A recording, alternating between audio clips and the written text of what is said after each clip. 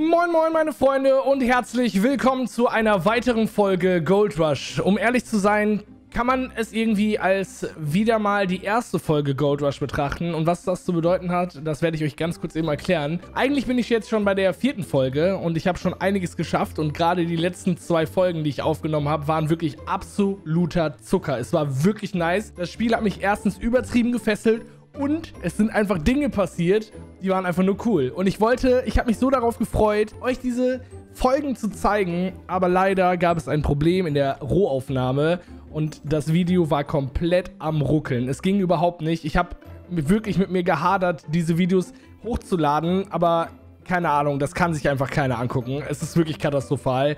Und da sowieso sehr viele von euch in der ersten Folge geschrieben haben, Jo Zander, du hast diesen 1-Euro-Modus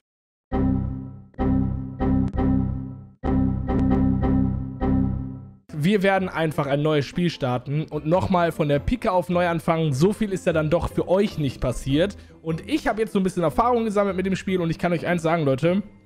Dieses Spiel habe ich massiv unterschätzt. Es macht mir unglaublich viel Spaß. Es ist einfach nur fesselnd und es ist so geil, diesen Fortschritt zu haben. Und das ist für mich eine richtig coole Simulation. Und diese Simulation werden wir auf jeden Fall weiterspielen. Und ich gebe mich nicht geschlagen, weil zwei Folgen kaputt sind die eigentlich wirklich cool waren. Sie waren wirklich sehr cool. Sie waren wirklich sehr cool. Aber wir lassen das jetzt einfach mal so stehen. Wir machen neues Spiel. Und letztes Mal habe ich einfach gestartet. Und da ist nämlich der 1-Dollar-Modus an. Und diesmal machen wir normal. Da ist der 1-Dollar-Modus gesperrt und aus. Wir starten ein neues Spiel. Wir machen kein Tutorial. Und äh, ich möchte anmerken, dass dieses Bild ziemlich cool aussieht. Äh, let's go in eine neue Welt, in ein neues Abenteuer. Gold Rush Episode 1.1. Und da sind wir schon wieder, meine Freunde, an unserem Haus. Ist das nicht schön? Das kennen wir alles schon. Das brauchen wir uns auch alles gar nicht mehr anschauen. Für die Leute, die das nicht kennen, naja, ich würde mal sagen, ich verlinke euch trotzdem irgendwie die Playlist unten in der Videobeschreibung. Und da ist das Video dann mit 1.0 und dieses Video dann mit 1.1 markiert. Äh, damit ihr einfach Bescheid wisst und äh, euch vielleicht nochmal das ein oder andere anschauen könnt. Aber grundsätzlich haben wir ja hier an dieser Stelle ähm, ja das alles schon mal erlebt. Hier ist die Straße immer noch gesperrt, das hat sich nicht geändert. Und wir werden jetzt erstmal kurz in die City fahren und müssen uns jetzt erstmal unsere Materialien besorgen. Nicht Mittel, sondern Materialien besorgen, die wir brauchen, damit wir äh, natürlich auch schön an unserer äh, Goldschürfstelle dann später schiffen können. Und wir müssen uns noch unsere Goldschürfstelle äh, mieten, pachten, wie auch immer. Das müssen wir auf jeden Fall machen. Hier müssen wir links abbiegen. Ich kenne mich hier schon aus, Leute. Woher kommt das wohl? Ich habe das Gefühl, ich habe das Spiel schon ein paar Minuten gespielt. Vor allem muss man dazu sagen, ich habe mit dieser Gasstation, habe ich mich richtig rumgeplagt und es war so lustig eigentlich. Es ist so traurig. Ich würde euch das so gerne zeigen. Ey, was ist das denn? Das kenne ich ja gar nicht. Hier ist ein Wasserturm. Da kann man Wasser aufladen. Ah, das ist bestimmt für diesen Wassertank. Es gibt nämlich einen Wassertank, den man kaufen kann. Und das ist auch ziemlich fresh. Wir müssen jetzt aber erstmal hier zu der Bank. Da fahren wir mal ganz vorsichtig.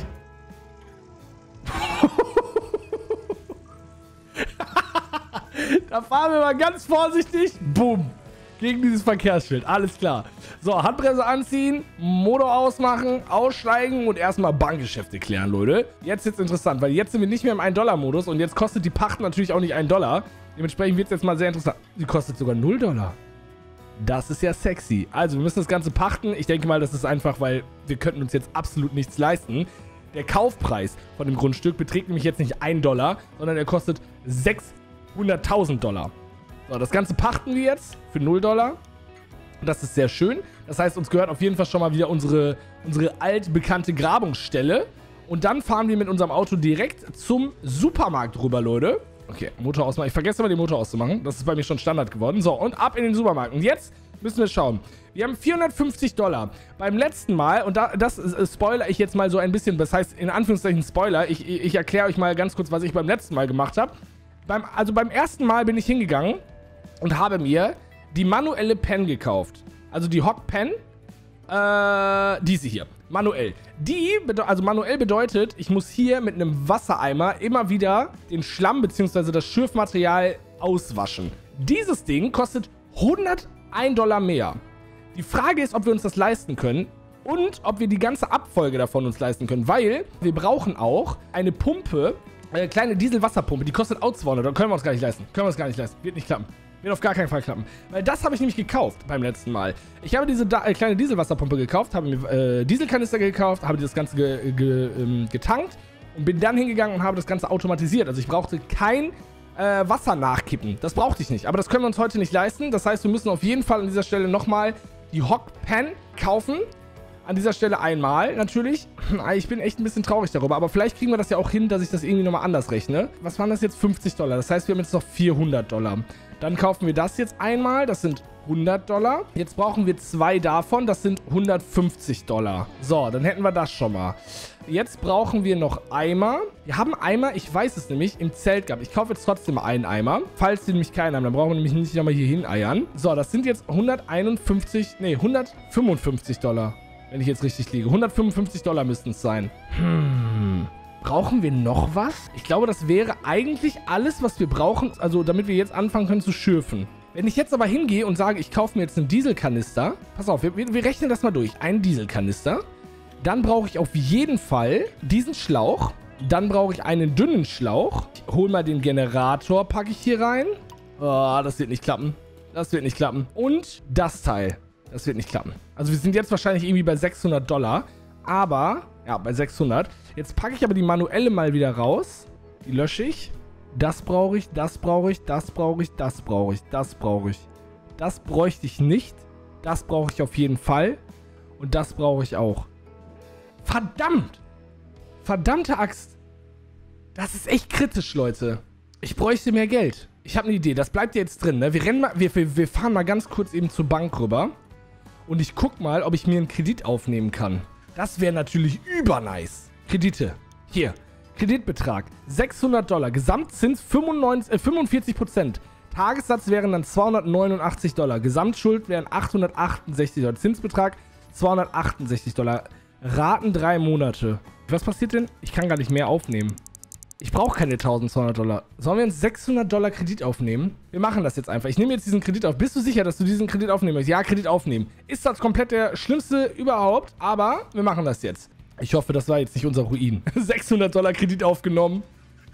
Goldgräber Imperium vorbei. da geht nichts mehr. Das wär's natürlich. Sag mal, warum hast du eigentlich deine Goldgräberkarriere an den Nagel gehängt? Ich habe mir einen Kredit von 600 Dollar aufgenommen und konnte ihn nicht zurückzahlen. Die Hockpan Waschrinne haben wir. Die Hockpan Schürfmatten haben wir. Davon nehmen wir jetzt vier Stück mit. Weil ich, ich hole jetzt noch was dazu. Den Eimer, den Kanister, Wasserschlauch dick, Wasserschlauch dünn brauchen wir. Wir haben die kleine Dieselwasserpumpe. Wir haben die Hockpan. Okay. So, wir nehmen noch einen weiteren Kanister mit. So teuer sind die nicht. Und jetzt packe ich mir noch die Erweiterung rein. Die kostet auch nochmal 100. Aber, Leute, das lohnt sich. Und wir packen nochmal davon zwei rein.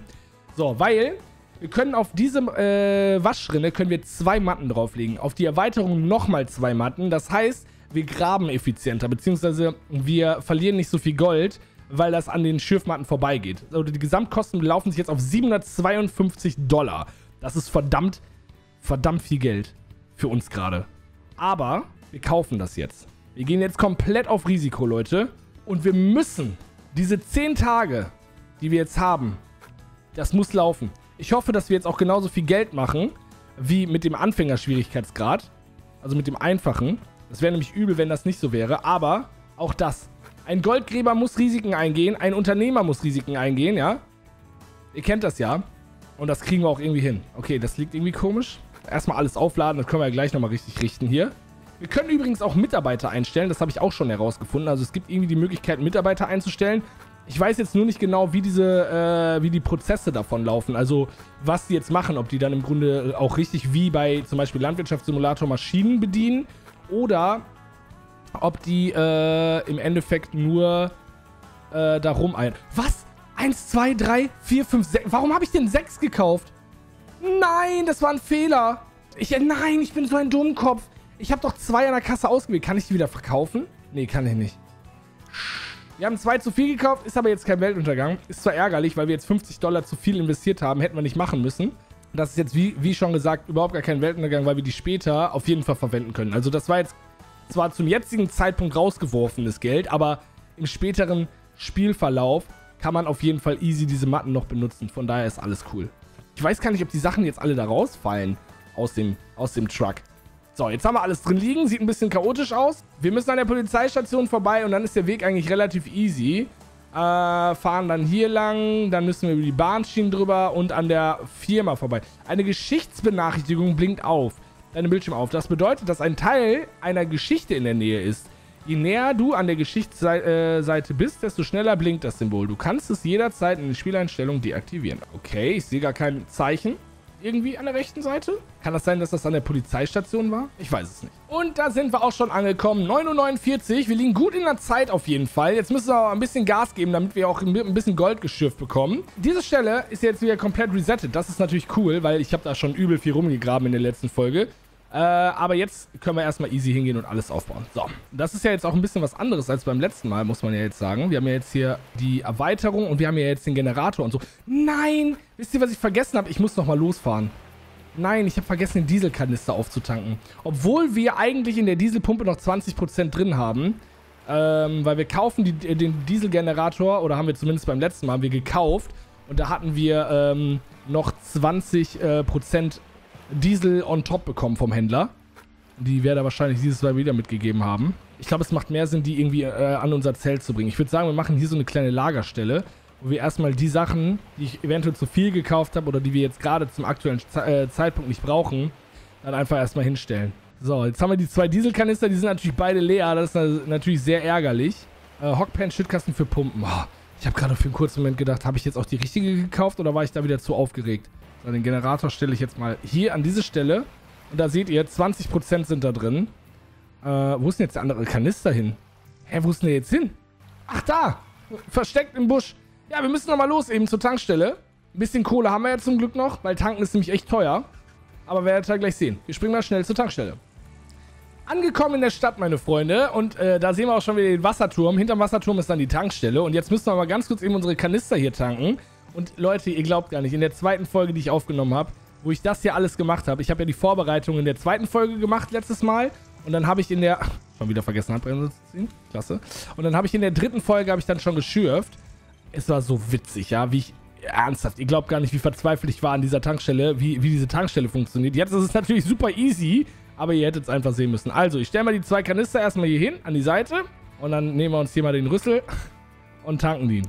so einfach eigentlich, ja. Aber glaub mir, ich hab's, ich hab's wirklich komplett nicht verstanden.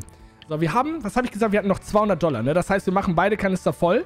Das ist, ups, das ist auch ordentlich ähm, Reserve dann. Am Ende. Irgendwann werden wir das sowieso brauchen. Jetzt haben wir noch, wie viel haben wir jetzt noch auf der Kante? 184 Dollar haben wir jetzt noch. So, dann nehmen wir jetzt mal nochmal hier so ein bisschen was rein. Ich würde sagen, für 70 Dollar. Das sind nochmal 25 Liter. Die packen wir oben drauf, damit wir so ein bisschen Reserve haben. Weil ich habe ein bisschen immer Angst, dass äh, wir eventuell stehen bleiben. Vielleicht wäre es da auch sinnvoll, wenn ich dann immer einen Kanister mit dabei habe, so für, für alle Notfälle. Weil mit, ich sag mal, ich weiß gar nicht, wie viele Liter haben da jetzt reingepasst? 25 Liter oder was in den Kanister? Das wäre schon ganz gut. War, war, unsere Motorhaube da gerade auf? Ist sie gerade aufgegangen? Warte mal, kann ich, kann ich die Motorhaube aufmachen? Ich kann die Motorhaube aufmachen.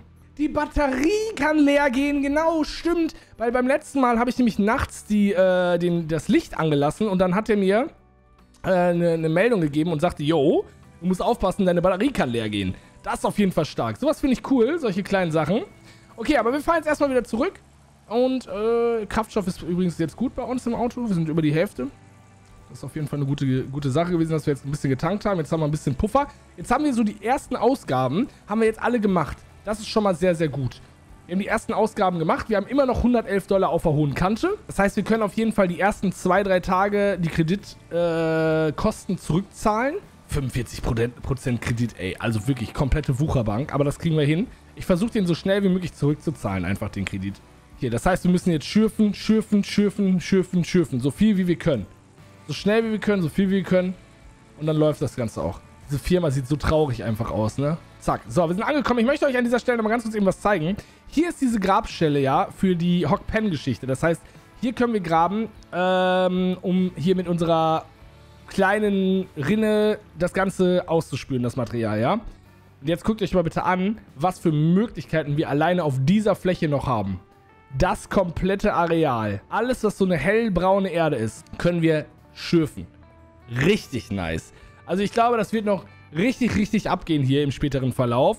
Aber ich würde sagen, für heute haben wir jetzt erstmal das Ding hier angebracht oder beziehungsweise am Start gebracht. Und ich werde jetzt erstmal alles vorbereiten. werde mir hier den Dieselkanister erstmal schnappen. Den werde ich erstmal hier hinstellen. Den anderen lasse ich erstmal auf dem Pickup drauf. Und jetzt schließen wir das ganze Teil mal eben an. Und beim letzten Mal war ich mir nämlich nicht ganz sicher. Ich glaube, ich habe das so gemacht. Dann habe ich den dicken Schlauch ins Wasser gelegt. So, und dann sagt er mir, jo, alles klar, Wasser ist angeschlossen. Sieht man ja jetzt hier. Also wenn ich den Schlauch jetzt aus dem Wasser rausnehme, dann ist kein Wasser drin.